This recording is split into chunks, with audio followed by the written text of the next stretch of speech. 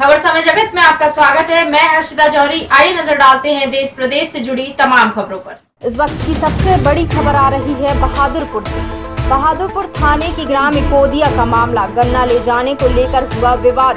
दोनों पक्षों के साथ आठ लोग हुए घायल। घायलों में महिलाएँ भी थी शामिल। पुलिस कर रही है मामले की जाँच। खबर समय जगत के लिए बहादुरपुर ऐसी संजय जैन की रिपोर्ट। पर समय जगत। एक संदेश पूरा देश। एक आगाज़ सच दिखाने का। हम हैं आपकी आवाज़।